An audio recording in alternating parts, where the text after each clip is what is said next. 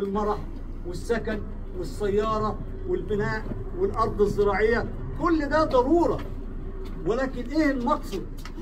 إيه المقصد؟ المقصد إن إحنا نقيم الدين في حياتنا، نقيم الدين في أولادنا وفي نسائنا، مفيش مقصد آخر.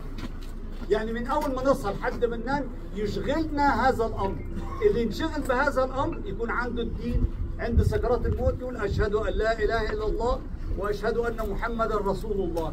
من كان آخر كلامه لا إله إلا الله دخل الجنة. موضوع مفيش فيه فصال. موضوع واضح. الله سبحانه وتعالى ما بعث النبي صلى الله عليه وسلم إلا ليبين الإنسان كيف يعيش كيف يعبد الله سبحانه وتعالى كيف تقضى حاجته في الدنيا. ده مقصود الأنبياء كلهم.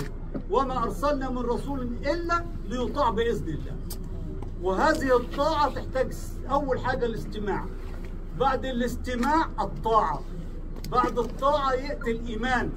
الإيمان له أعمال وله مقتضى. مفيش إيمان بدون أعمال. أنا مؤمن يعني إيه؟ يعني أعمل. يعني عندي تكاليف عندي أوامر من الله سبحانه وتعالى.